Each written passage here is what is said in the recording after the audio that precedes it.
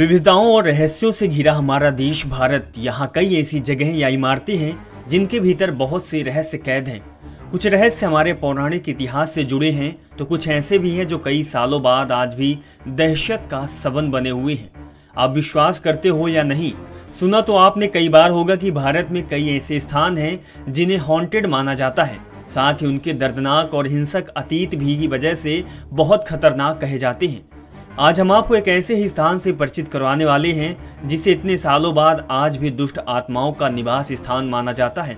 यह स्थान है मध्य प्रदेश के सोनपुर शहर के करीब 20 किलोमीटर दूर।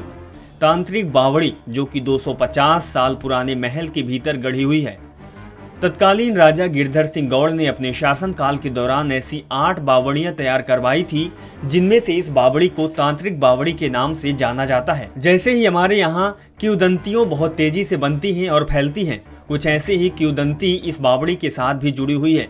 ऐसी मान्यता रही है कि इस बावड़ी पर एक नाराज़ तांत्रिक ने जादू टोना कर दिया था, जिसकी वजह से जो भी लोग इस बावड़ी का पानी पीते थे, उनके बीच में विवाद पनपने लगता था। जब ऐसी वारदातें राज परिवार के लोगों के साथ घटित होने लगी तो इस बावड़ी को बंद करने का फैसला ले लिया गया। यह स्थान स्वयं राजा गिरधर सिंह गौड़ ने ही बनवाया था, जो हमेशा जादूगरों और तांत्रिकों के लिए प्रसिद्ध रहा। कहा जाता है कि एक बार राजा ने जादूगरों का मुकाबला करवाया था। एक जादूगर ने ताड़ के वृक्ष को अपने जादू से तोड़ दिया तो दूसरे ने अपने जादू से उस पेड़ को जोड़ दिखाया।